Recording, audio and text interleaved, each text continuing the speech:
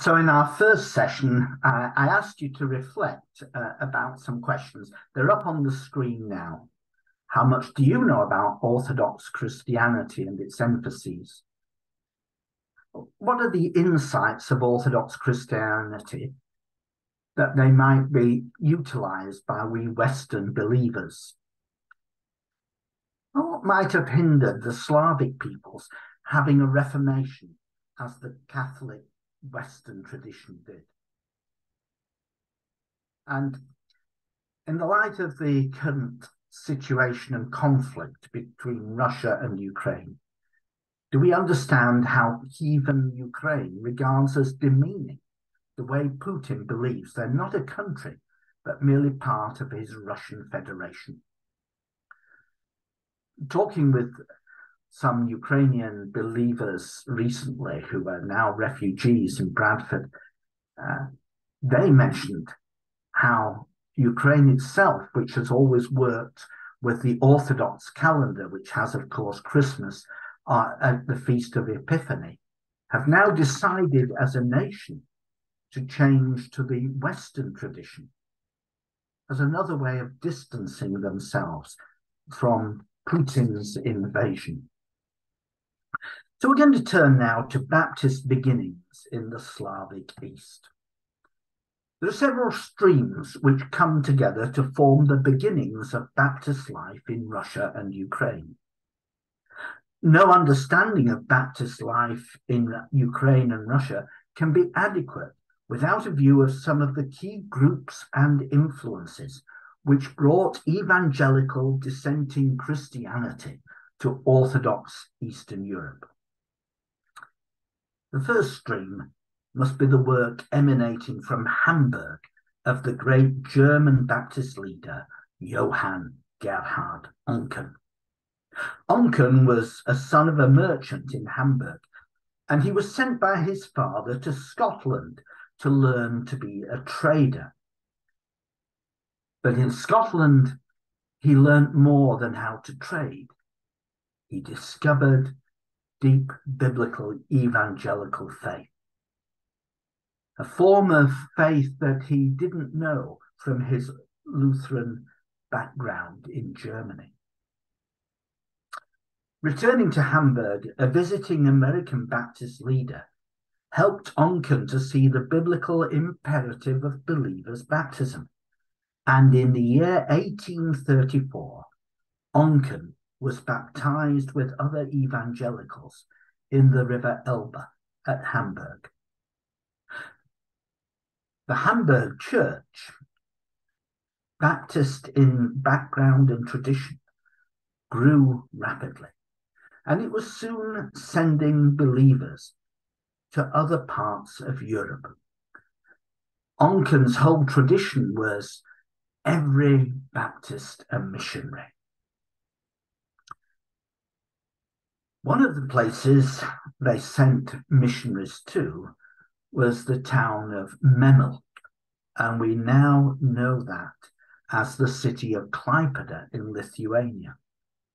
The logic of that is that Hamburg is a seaport and cooperated with other seaports around the North Sea and the Baltic Ocean. In 1841, Klaipeda was established as a Baptist community and began sending missionaries out themselves. The Memel Church soon had 27 outstations, preaching stations, and by the 1880s, there was a Baptistic community meeting in the city of St. Petersburg. One outstanding leader from this stream was William Fettler. And Fettler was given the chance to study at Spurgeon's College. And by 1908, they had created a formal Baptist church in St. Petersburg. Baptist life in Ukraine began to emerge in the 1860s in Kherson, that city which has just been returned to Ukrainian land as the Russian forces have retreated across the Dnieper River. The creation of these communities was initially by German Baptists who were migrating across Europe, taking with them their skills and work, but also every Baptist and missionary, their lively faith.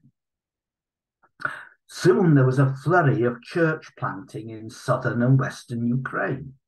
Zaporizhia, another important area of Baptist activity.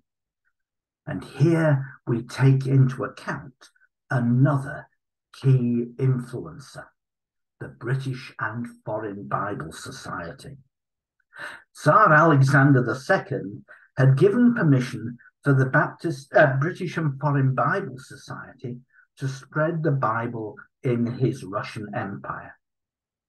And by 1870, part of the Old Testament had been translated into Ukrainian. The British and Foreign Bible Society used colporteurs or Bible distributors. The BFBS told these colporteurs they could only sell and hand out Bibles. They must not create churches. However, most of them engaged in evangelism.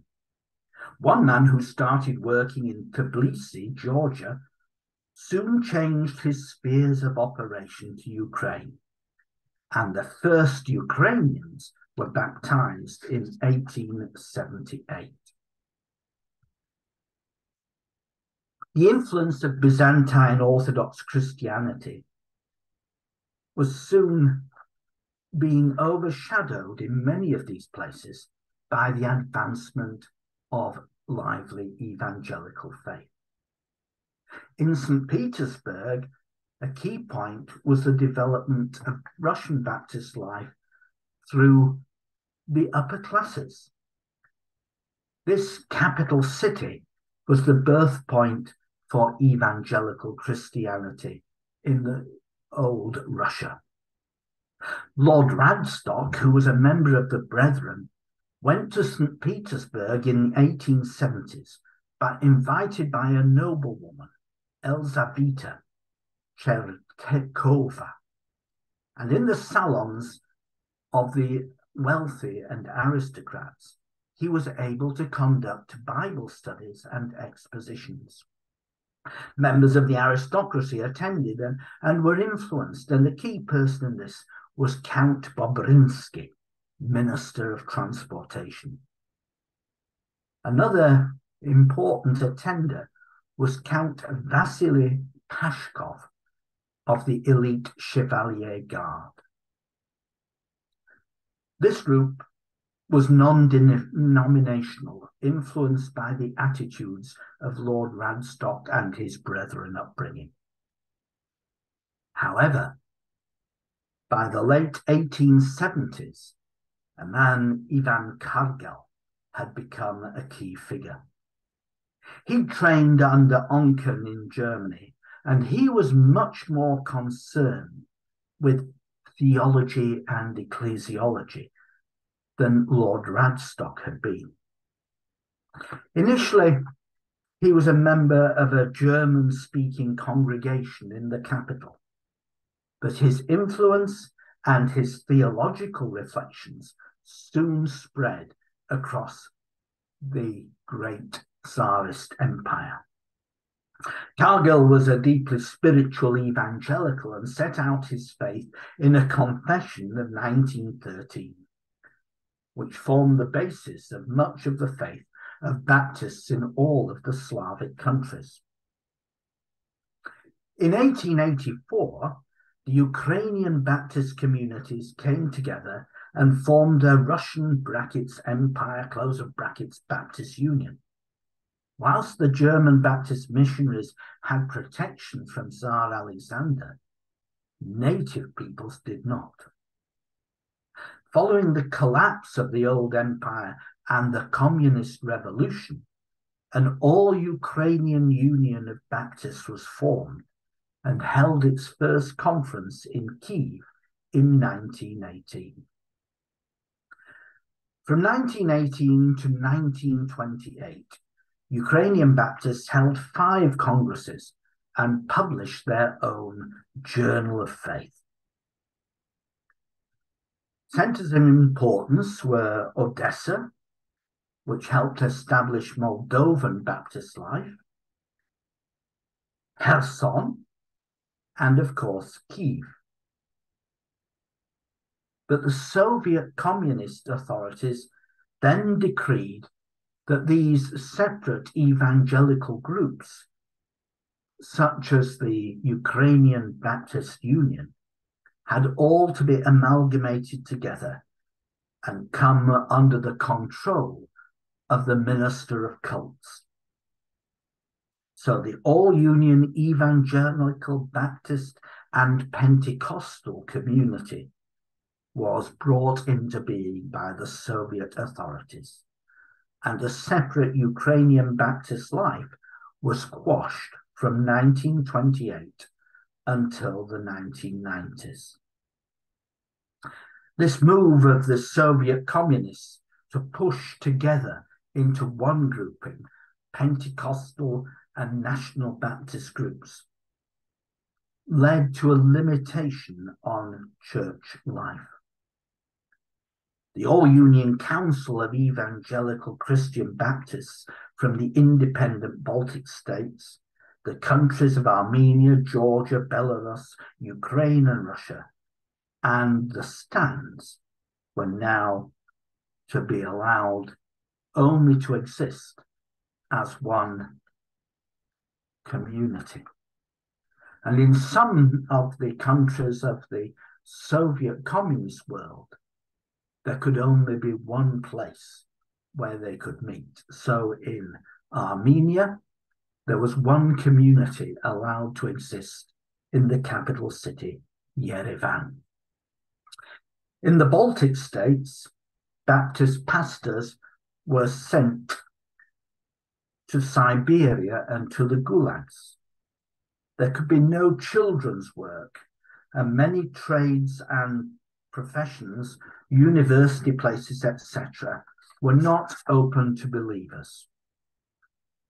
Baptist life in Ukraine, which had grown from separate beginnings thanks to the work of the BFBS and the German Baptist missionaries, was now absorbed in this new communist created reality.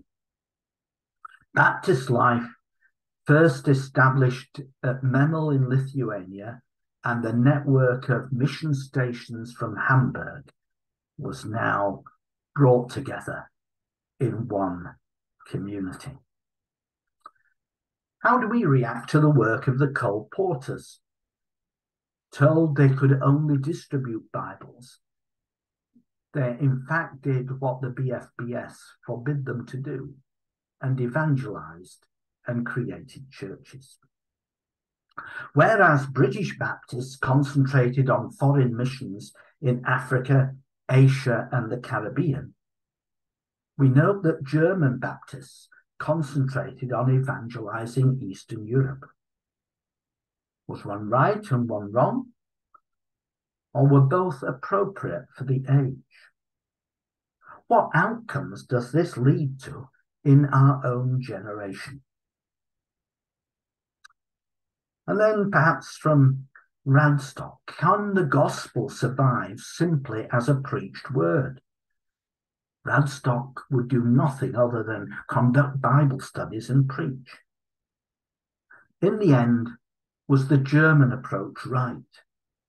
We need an ecclesiology, a theology, and somebody like Kargel, who created all that for the Baptists of the old Russian Empire. And what difference does a dissenting evangelical church exhibit if it's fostered in the soil of a state church which is an eclectic theological mix, like the Church of England, or more uniform in the way it works, like the Orthodox Church. These are things for us to think about. Thank you.